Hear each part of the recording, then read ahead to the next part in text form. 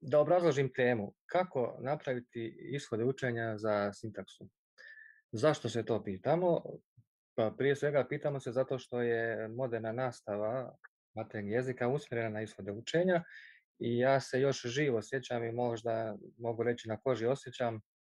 taj period tranzicije dok sam radio u srednjoj školi pa su nam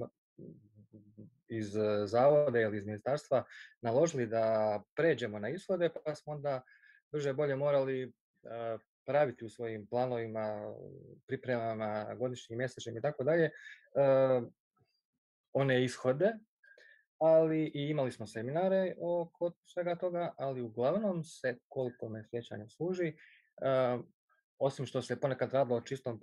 prepakiranju prepakovanju sadržaja, koji su se samo nazivali drugim imenom, radilo bi se isto, moram biti iskren, Nekad se i doprijelo naravno do suštinskih ishoda učenja u književnosti i do novog modela rada u nastavi matematika i književnosti. Kolegica Alca Arnaut je dolazila u Mostar u to vrijeme i iz Zenice oni su prednjačili, moram ih pohvaliti u tome i mislim da i danas prednjače u svemu, svemu ovome. I usput sam se ja negdje pitao, i zapravo sada se pitam, gdje je sve tu jezik i šta su nam, ako su ako nećemo samo prepakovati stare ciljeve i metode, odnosno zadatke, ciljeve i zadatke u ishode, šta bi bili ishodi učenja za nastavu gramatike? To je ovako jedno šire pitanje od, od, od ishoda učenja za nastavu sintakse. I moram reći svoje zapažanje, volio bih da me neko ispravi, obradovao bih se kad bi me neko mogao ispraviti, eh, da je neko zapravo suštinski napravio neki zvanični ishod učenja i E, usvojio ga u nekom kurikulumu. Ja sam malo,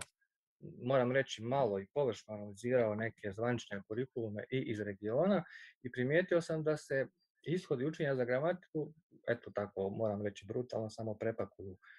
oni stari zadaci ciljevi nastave i da nije baš prilagođeno to suštinski onim stvarnim ishodima učenja kako bi možda trebalo da bude.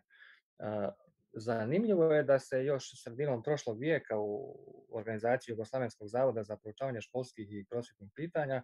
na jednom održanom e, skupu u Beogradu o problemima jedinstva nastave i jezika i književnosti 64. godine. Pazite, govorilo pa na neki način o svemu ovome i došlo se do zaključka da je nastava jezika suhoparna, formalna, besplodna, da traže osavremenjivanje. Međutim, ja se pitam koliko smo danas, evo pola stoljeća, ili poslije odmakli od svega ovoga i postavljamo pitanje slično kao što nastavu stranih jezika u moje vrijeme se učilo gramatičkom, a ne konverzacijskom metodom, kao da smo učili da budem nastavnik ili profesor engleskog, a ne govornik engleskog, tako se postavlja pitanje slično danas, da li mi od svojih đaka zapravo pravimo lingviste ili želimo priznati lingviste ili učimo jezičkim kompetencijama ono što od nas zapravo traže, traže ishodi učenja. Ishodi učenja u nastavi maternjeg jezika naravno definiraju se prema ključnim jezičkim kompetencijama za cijelo životno učenje, kako se to stručno tamo navodi, E, i govorimo o komunikacijskim kompetencijama u jezičko-komunikacijskom obrazovnom području i zapravo sve se svodi kao inače u jeziku na čitanje, slušanje, pisanje i usmeno izražavanje. Sad se postavlja pitanje kako nastavu sintakse uh, usmjeriti na ove filtere čitanja, slušanja, pisanja i usmenog izražavanja i ono što meni ovdje prvo pada na um, a moram se neskromno pohvaliti da sam probao još u toj srednjoškolskoj nastavi dok smo bili u tranziciji, probao sam jedan eksperiment, eksperiment da um, postavim jednu složenu sintaksičku strukturu, napišem je na tabli i da vidimo kako se zapravo čitanje tog teksta u jezičkim vještinama ogleda kod đaka koji to uh, pokušavaju analizirati. Recimo, to su vam one ja ih zovem karahasanovske književne rečenice od, od, od pola stranice ili stranica teksta, ili neke slične rečenice, ima i lingvista koji tako pišu, mislim da sam težim tom nekom stilu preopširne rečenice, pa je bila jedna rečenica napisana na tablu, otprilike ovako glasila, ne zna se tačno da li bi se mogla izbjeći bilo kakva veza među pojavama što opisuju svu raskošnost osjećaja jednog mladića koji se zagledan u hajriju krajbunara tužan propitivao kojim to ljubavnim jadima djevojka je bilo zaokljene u to doba godine i onog iznenadnog popodnevnog sna u kojem su svi pričali da se ona udala. I sad ja sam postavio pitanje i onog iznenadnog popodnevnog sna. gdje se veže ta klauza, gdje je zapravo, kako da razumijevamo ovaj tekst koji stvarno jeste komplikovan ovako kad ga govorimo, a ne svakako naravno i kad ga čitamo. I onda sam se sjetio zapravo da učenici još od rane faze imaju probleme sa tekstualnim zadacima iz fizike, matematike, možda hemije i slično. I zapravo dešava se da ne razumijemo vlastiti jezik. Čitamo tekstualni zadatak, ne znamo šta se od nas traži ili evo ne znamo šta je s čim vezano u rečenici, samim tim ne znamo šta rečenica znači. I ja bih pažnju metodičara i onih koji se bave reformama nastave usmjerio upravo na, na, na ovaj segment i postavljam sebi pitanje i već smo zapravo u institutu zvanično i sa nekim aktivima nastavnika jezika i književnosti i sa pedagoškim zavodima, pa i sa onima koji su radili PISA testove i koji imaju u svojoj arhivi sve te materijale u kojima su učenici griješili u, komunikacijskim vještinama, zapravo obećali su nam da će nam dostaviti te materijale za, za analizu i e, kako bismo mogli sami kreirati, odnosno osmisliti ishode učenja za nastavu gramatike. Inače gramatike, a posebno za nastavu sintakse, konkretno kad se o sintaksi govori, reći ću da u prvom e, naumu za e, jezičke vještine u sintaksi tu vidim sintaksičku sinonimiju i sintaksičku homonimiju. Moram reći da ni jedno ni drugo nije baš nešto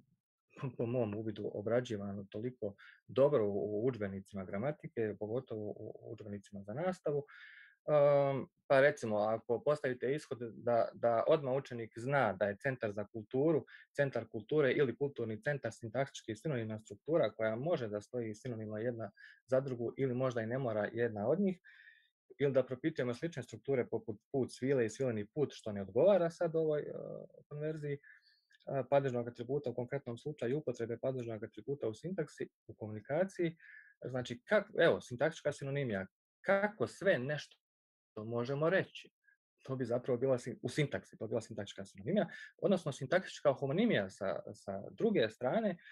šta sve rečenica kao sintaktička struktura, kao sintaktička forma može da znači, ne u polisemnom, nego u homonimnom smislu, pa recimo uputit ću i na jedan podatak da, je, da su neke čak vijesti, zvanične vijesti na našim portalima u vrijeme korone, u vrijeme pandemije, u vrijeme lockdowna, zatvaranja ako hoćete, imale vijesti naslovljene poput novi smrtni slučaj koronavirusa u travniku. I sad vi ne znate je li to novi smrtni slučaj u travniku, je li to novi smrtni slučaj inače pa je u travniku, je li to prvi travnički, novi travnički i tako dalje, a govorite o smrti, i bilo je dosta nekih desetak sličnih e, vijesti koji, u kojima se nije baš znalo ko pije plaća, da, da se tako povutalo izrazim. Slična e, sintaktički homnina rečenca, recimo malo čas sam je čuo sedam debelih krava pojede sedam mršavih krava i ako govorimo o, o onom sintaktičkom redoslijedu nominativ, odnosno subjekat, predikat, objekat, to će biti jasno, ali ako govorimo o promjene promjeni fokusa zapravo, onda ćemo u prvom redu moći staviti objekat, pa će ova rečenica moći značiti suprotno onoga što što smo rekli. Ili recimo rečenica, ne znam, ima sintaktičkih homonim struktura mnogo, da je do 30 vrsta, odnosno četiri su velike, pa pod vrsta 30 različitih primjera. Na upada mi recimo rečenica najljep